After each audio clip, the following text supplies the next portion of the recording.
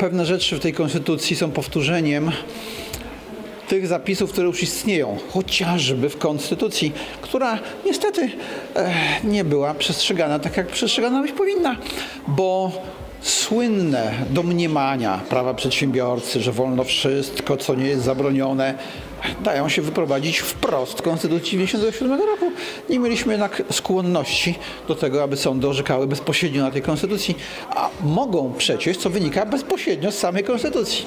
Robert Gwiazdowski spotkał się w środę w Państwowej Wyższej Szkole Zawodowej w Pile ze studentami i przedstawicielami Izby Gospodarczej Północnej Wielkopolski. Wykład dotyczył m.in. reformy emerytalnej, podatków i konstytucji biznesu. Robert Gwiazdowski jest absolwentem Wydziału Prawa i Administracji Uniwersytetu Warszawskiego, doradcą podatkowym, jak również komentatorem wydarzeń gospodarczych i politycznych. Autor książek Sprawiedliwość a efektywność opodatkowania pomiędzy progresją a podatkiem liniowym czy emerytalna katastrofa i jak się chronić przed jej skutkami.